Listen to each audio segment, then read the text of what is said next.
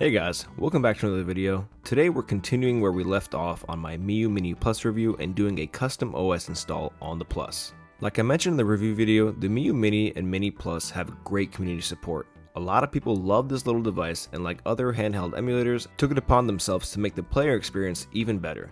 The custom firmware we're going to be installing is called Onion OS. Before I get started, I just want to state that there are a lot of videos and websites covering Onion OS more in depth. Ones that I viewed specifically to get things going were Retro Gaming Corp and the official Onion OS GitHub. Retro Gaming Corp makes awesome videos and also pairs those videos with written guides, so if you need any in-depth guides, he's the guy to look out for. To start off, the Miyoo Mini Plus is ready to play out of the box. It's full of features and ROMs for a large amount of retro systems and I think that alone makes the device worth to buy. If you're like me and are more comfortable with the emulation side of things, you might want to take it a step further and upgrade the device to let's say a better version of itself. Onion OS is open sourced and it was made by a handful of people. They made a new operating system to sit on top of the hardware for the Plus and let me say, it's awesome. Now, I'm to do a quick straight to the point walkthrough to show you how easy it is to upgrade.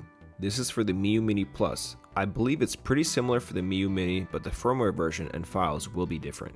Depending on when you get the device, you might need to upgrade the firmware. You'll need at least a May 2023 firmware to upgrade at this time of recording. I got my device recently so I was good to go. If for some reason you have an older version firmware, you'll need to upgrade the firmware before beginning. The two websites I mentioned tell you how to do this, but it's essentially a drag and drop file onto the device's SD card and a reboot, but read the guides because that's more accurate. Okay, so the Miyoo Mini comes with a 64GB card and it's kinda poopy. I recommend getting a name brand card because the cheaper SD cards have a habit of just dying. I had this happen to me on my Analogue Pocket before and it sucks to lose all your data. I went with a 128GB SanDisk card. This might be overkill depending on what you're planning on playing, but it's about that time of year when this card is like $12 so I was like, why not? And just to make it clear, so far we haven't touched the Miyoo Mini Plus yet, and we won't for a little bit the original SD card is still in there. So we take our new SD card and reformat it. Depending on the computer you're using, this will differ. For Windows, you'll need to download a software, most of them are free,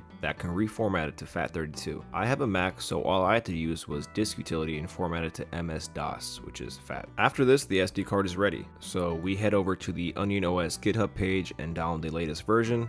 Once it's downloading, unzip the file, open the folder to where you'll see all six subfolders, then put that onto the SD card. I didn't know this and just placed the whole Onion OS folder on the card, but the Miyoo Mini Plus can't dive into the folder to find the subfolders, so you're gonna have to open it up like I mentioned before and make sure all six of the folders are in the root of the drive. So we're already halfway done and we still really haven't done anything. So far so easy. At this point, we can power off the Miyoo Mini Plus, remove the FART SD card and place the new one in there. Power the device on and watch the installation installation process unravel. It's not a long process at all and once it installs it will walk you through some setting options. This is where you can choose what devices you want to emulate and all this will do is generate a folder for the device so you can add ROMs to them later. There's also some other things in here that are better explained on the Onion OS website so I won't go into detail but just know that this menu can be accessed at any time after this. You're not put on the spot to pick everything now. If you want to go back and add or move something, you can. So once all your settings are picked, you'll realize you have no games. You need some. Power the device off and put the SD card back into the computer. The SD card file structure is very straightforward.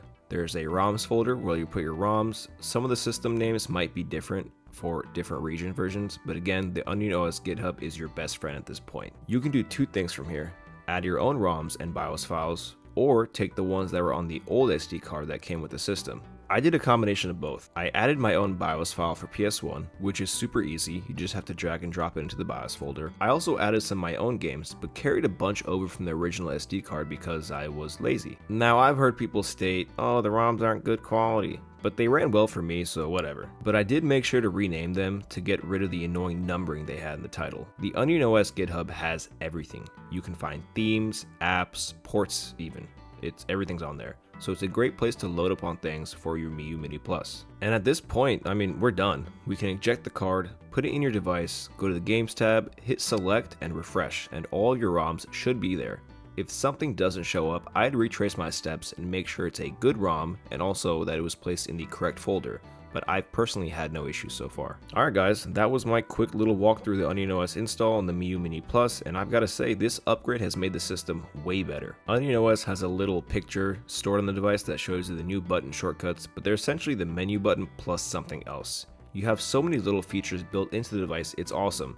You have a game selector mode that lets you hop in and out of games, save and load states, fast forward and rewind, screen resizing, I mean, you have it all. There's also a scraper feature that lets you download box art straight to your device with Wi-Fi. I personally don't care for box art, so I didn't do this. As mentioned before, I found Retro Game Corp and the Onion OS page to be the most helpful, so I'd give those a look if you're interested. And also, let me know what you guys think. If you plan on getting a Miyoo Mini Plus, are you planning on doing the Onion OS install as well? If you have a Plus, are you more confident to make the upgrade? I think this is a great opportunity to get into emulation and directory navigation if you haven't yet because this process is pretty similar across all devices. I'm interested to see what you guys think. As always, I appreciate you guys watching. If you liked the video, leave a like. If you want to show support and stay tuned for future content, please click the sub button. I can't make you do it, but I mean, it is free. Enjoy gaming wherever you guys can. I'll see you in the next one. Okay, thanks, bye.